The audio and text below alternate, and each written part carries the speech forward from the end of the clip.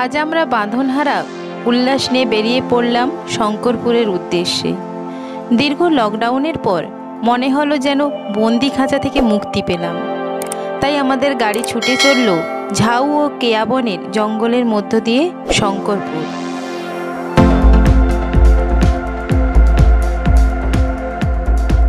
দীঘা থেকে শঙ্করপুরের দূরত্ব প্রায় সাতাশ কিলোমিটার ও কলকাতা থেকে শঙ্করপুরের দূরত্ব একশো চুয়াত্তর কিলোমিটার।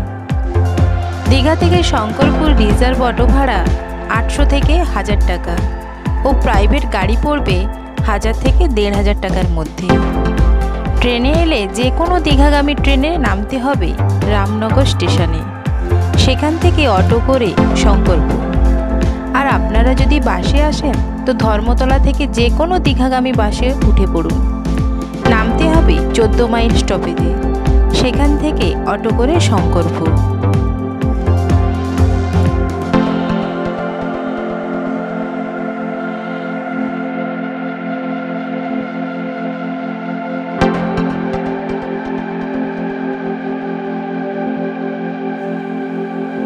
এখানে থাকার জন্য অনেকগুলি হোটেল আছে। হোটেলে খাওয়ার ব্যবস্থাও থাকে ও বিচে ঢোকার মুখেও কিছু খাওয়ার দোকান আছে।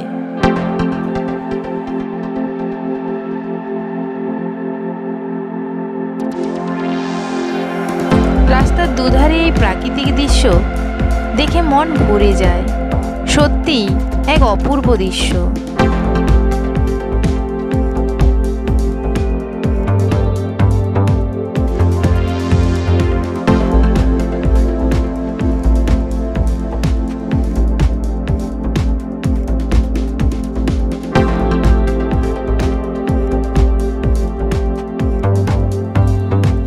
ভ্রমণ সংক্রান্ত ভিডিওগুলি কেমন লাগছে তা কমেন্ট করে অবশ্যই জানাবেন।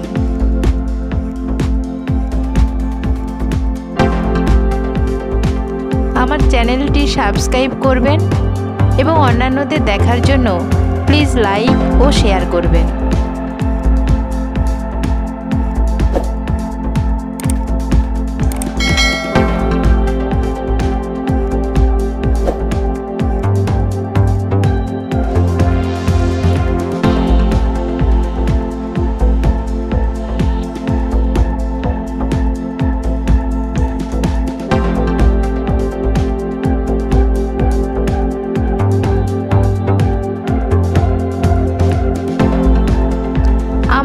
চলে এলাম আমাদের গন্তব্যস্থল শঙ্করপুর বিচে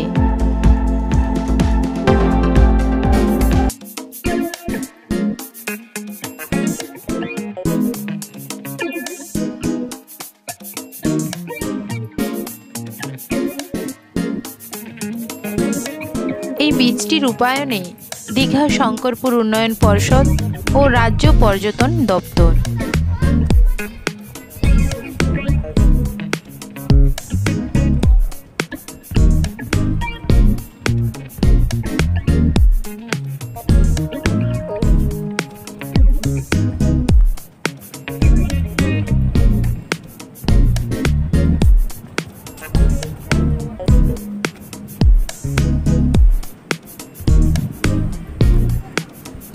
পাশের বীজটি স্নান করার জন্য উপযুক্ত। সমুদ্রের এই বাঁধানো পাড়ে স্নান করা নিষেধ ও এখানে খুব বিপজ্জনক। স্নান করতে হলে পাশের বীজটিতে স্নান করতে হবে।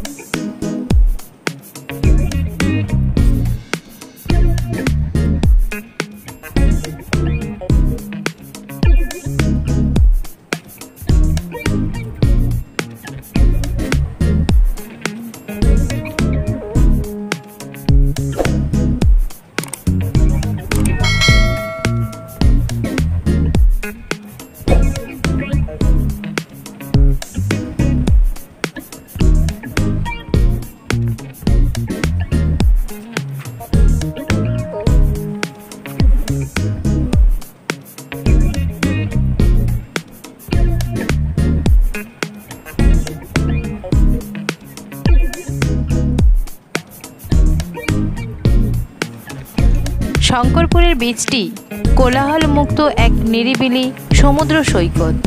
এখানে দু একদিন ছুটি কাটানোর একটি আদর্শ জায়গা।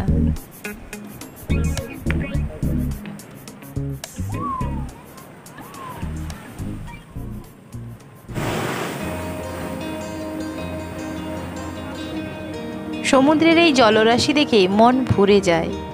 মনে হয়, এখনই সমুদ্রে নেমে যাই। কিন্তু প্লিজ কেউ নামবেন না। পার্টি কংক্রিটের হয় খুব বিপজ্জনক।